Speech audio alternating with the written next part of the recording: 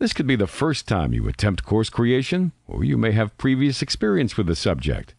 I've been doing it for a very long time, and I'm still learning something new every time I do one.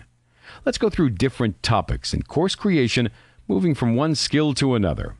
We'll take your ideas and turn them into course text, the base for any course. Then we'll take your text and turn it into a presentation. Take your static presentation and make it a dynamic one. Once this is ready, it's time to convert it to video and add music or voiceover to it. This way, you can use it in class or over the internet. Other things covered are the handouts, case studies, the assessments, participants' manuals, and instructor's manual, the one that'll help you during delivering the course. Let's explore your ideas and create your course material. Order the course today